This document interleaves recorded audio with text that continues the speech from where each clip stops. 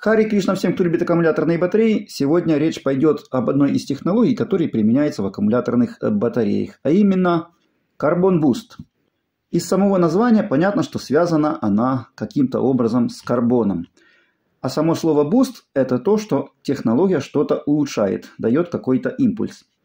Карбон, в свою очередь, это синоним углерод. Углерод для нас звучит более понятно для нашего уха. Получается, что карбон-буст – это применение углерода для улучшения чего-то. Вот сегодня мы и разберемся, что это за такой углерод и что он улучшает. Сама эта технология, Carbon Boost, была запатентована таким монстром в мире аккумуляторных батарей, как Excite. Не то чтобы они ее придумали, потому что исследования в этом направлении велись задолго до того, как Excite воплотил эту технологию в мир – но именно Excite первой начал ее широко применять.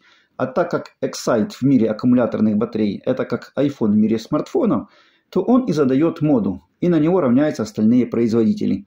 И технология Carbon Boost закрепилась в сознании как ноу-хау от Excite. Где мы можем встретить углерод? Он на самом деле вокруг нас. Мы его можем встретить везде. Например, активированный уголь – это углерод. Древесный уголь это углерод. Сажа, которая остается после горения, это углерод. Графит, который в карандашах, которые пишут, это тоже углерод. И не только углерод, он еще и очень хороший проводник. А еще графит, то есть углерод, применяется в атомных реакторах, потому что он выдерживает большие температуры. Углерод – это даже алмаз, из которого потом делают бриллианты. Из углерода также делают прочные углеродные волокна. Проще говоря, углерод – это прочность, надежность, выдерживает высокие температуры и когда что-то сгорело. А еще углерод – это проводник, очень хороший проводник. И именно это свойство и дает тот эффект, который нужен в аккумуляторных батареях. А теперь давайте обратим внимание на рекламу, которую дает производитель, и что там он нам рассказывает. Чем же так хороша эта самая технология? Что мы там увидим? Первое – Большие пусковые мощности увеличены до 30%. Второе. Большая скорость заряда аккумулятора повышается на полтора-два раза. Больший срок службы аккумуляторной батареи соответственно. Ну и еще много всего того, что придумали маркетологи. А правда в том, только в том, что аккумулятор с этой технологией заряжается действительно быстрее. Все остальные преимущества – это следствие этого первого, то есть того, что аккумулятор действительно заряжается быстрее. А зачем аккумулятор заряжать быстрее? Разве обычный аккумуляторная батарея не заряжается довольно быстро? И это чистая правда. Даже простые аккумуляторы нормально себе по времени заряжаются.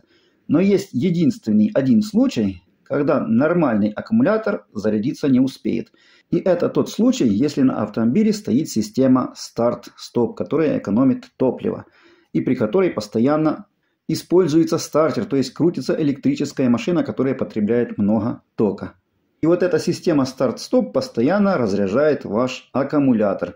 И это на самом деле большая проблема, потому что обычные аккумуляторы при режиме, когда он работает в режиме заряд-разряд, то есть циклирование, и при этом постоянно недозаряжен, а недозаряжен он обычно на 20-80%, такие аккумуляторы очень быстро деградируют.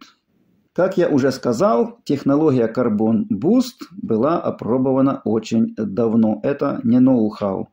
Но применение она не нашла при изготовлении аккумуляторов. Никому она не была нужна. Но вот когда появилась система старт-стоп, о ней вспомнили. Вытянули ее на свет Божий, отряхнули от нафталина и внедрили, так сказать. А внедрили ее, как правило, на аккумуляторах типа IGM и EFB, потому что именно Такие аккумуляторы применяются в системах старт-стоп по ряду причин. Сам принцип этой технологии простой как дверь. У нас есть аккумулятор, он работает в режиме цикличности и постоянно недозаряжен. Красота прямо. Быстрая деградация ему 100% гарантирована. От чего он умрет? От сульфатации, понятное дело. Да, от нее, от нашей самой любимой сульфатации. Когда аккумулятор недозаряжен, когда он работает в режиме цикличности, отрицательные электроды очень быстро накапливают в себе нерастворимые кристаллы сульфата, которые растворить при нормальном заряде нельзя. В результате потеря емкости и утилизация. Ну, можно перетопить на грузики, кому надо. Накопление сульфата, в свою очередь, возникает из-за неравномерного распределения зарядного тока по площади аккумуляторных пластин. Сейчас речь идет об отрицательных пластинах. Я вам всегда в своих видео говорил, пластины заряжаются неравномерно. Чем выше зарядный ток, тем больше эта неравномерность. Чем больше засульфатированы, тем больше неравномерность. Какой выход из этого? Тут все логично. Нужно распределить этот зарядный ток более равномерно по поверхности пластин. Есть два варианта. Вариант номер один. Сделать решетки пластин, которые в свою очередь являются токопроводами, очень хитрой формы, которая позволит достичь такого результата. Этим занимаются ребята из Варты и ребята из Боша. Это их фирменная фишка. Вариант номер два. Более хитрый, достать из нафталина углеродную технологию, отряхнуть от пыли и нате вам carbon boost. Ребята из Exide более хитрые ребята. Теперь непосредственно поговорим о том, что же такое carbon boost. Все на самом деле очень просто, элементарно. Надо знать только устройство аккумулятора, чтобы это понять. У нас обмазка пластин пористая, это мы все знаем. Как делается обмазка? Берется свинцовый порошок, то есть пудра, намазывается на решетки, формируются поры, и вот тебе пластина для аккумуляторной батареи. А чтобы порошок не рассыпался, когда его будут намазывать на пластины, он как тесто должен быть. Вот если возьмем муку, это тоже порошок, тоже такая типа пудра. И вот эту свинцовую пудру, подобно муке, замешивает на кислоте. Ну, муку замешивает на воде или на яйцах, а свинцовый порошок замешивает на серной кислоте, то есть на электролите. Получается свинцовое тесто, которое потом и намазывает на решетки пластин. А электролит, в свою очередь, который, как мы знаем, содержит серную кислоту, вступает в реакцию со свинцовой пудрой и образуется сульфат. Тот самый сульфат, о котором вы, конечно же, все подумали. И вот этот сульфат теперь будет называться техническим он как раз и есть клеем, который склеивает вот этот свинцовый порошок, чтобы он не рассыпался. Тут все очень просто. Но есть одна очень большая проблема. Дело в том, что вот этот сульфат очень плохо проводит ток. Он практически его вообще не проводит, этот ток.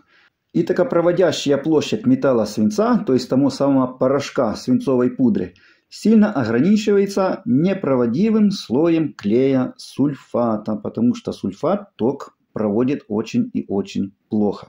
Вследствие этого снижается токоотдача аккумуляторной пластины, токоприемистость этой пластины, общая проводимость всего аккумулятора и равномерность распределения зарядного тока по пластинам. Вот вам и проблема. Как ее можно решить? Решается эта проблема периодическими зарядами аккумуляторной батареи до полного заряда и лечебными циклами, которые существуют. И было бы все в принципе неплохо, и всех бы все это устраивало, как до этого времени, но тут появился старт-стоп. А там не то, что периодические полные заряды, там вообще хронические недозаряды. И проблема деградации аккумуляторных пластин отрицательных – очень сильно усугубилась, и ее надо решать. И ее решили, соответственно. Очень просто решили. Добавили графит в обмазку пластин. Графит ток проводит. Очень хорошо проводит. И этот графит подмешивает в обмазку. И он компенсирует изоляцию техническим сульфатом металлосвинцовой пудры. Если проще, он выступает токопроводящими мостиками между песчинками свинца обмазки, то есть между этими кусочками пудры. В результате получаем токопроводность пластины выше, распределение зарядных токов в обмазке пластин намного лучше. Скорость заряда, соответственно, при этом увеличивается, понятное дело. Но главное, заряд в обмазке пластин очень более равномерный. И в свою очередь это уменьшает деградацию отрицательных пластин от сульфатации, от накопления сульфатов на 8-13%. Это на самом деле хороший результат. Таким образом, очень просто решается хронический недозаряд и его последствия. Хотя, если честно, не совсем решается. Проще сказать, сильно улучшаются условия заряда за счет дополнительной электропроводности обмазок пластин. Теперь осталось все это безобразие назвать красивым названием Carbon Boost, и можно эту технологию продавать, которая, в принципе, успешно и продается. Тем более, что там того графита нужно до 1%, чаще всего добавляет 0,7%. Значит ли это, что аккумуляторы с технологией Carbon Boost можно вообще не заряжать? Нет, их тоже нужно периодически заряжать. Carbon Boost дает возможность увеличения времени деградации от сульфатации – и, как следствие, потери емкости аккумуляторной батареи. Но не решает эту проблему на 100%. Поэтому обслуживать аккумуляторы с такой технологией все равно надо. Логически напрашивается вопрос, можно ли аккумуляторы с технологией Carbon Boost применять на автомобилях, у которых нет системы старт-стоп. Конечно же можно. Это даже оправдано, если у вас короткие поездки и аккумулятор не успевает заряжаться от генератора – Второй логический вопрос, а есть ли минусы у этой технологии? Ну а куда же без них? Конечно же они есть. Если карбон повышает проводимость током, он повышает и саморазряд. Потому что реакция двойной сульфатации идет в две стороны, как на заряд, так и на разряд. А еще графит понижает напряжение на клеммах аккумуляторной батареи. То есть графит, который применяется при carbon boost, снижает зарядный потенциал пластин. Мы ведь, конечно, все помним, что в аккумуляторах типа AGM заливается электролит повышенной плотности, и не от хорошей жизни он там так заливается. Вот такая вот она незамысловатая технология Carbon Boost. На самом деле предельно простая и логическая. Все новое, как мы все знаем, это очень неплохо забытое старое. А сегодня было такое видео. Надеюсь, оно вам понравилось. Надеюсь, оно пролило свет на некоторые волнующие вопросы. Не забываем мне ставить лайк, потому что я очень жаден до лайков. У кого какие вопросы, пишем в комментариях. И обязательно подписываемся, кто еще не подписался.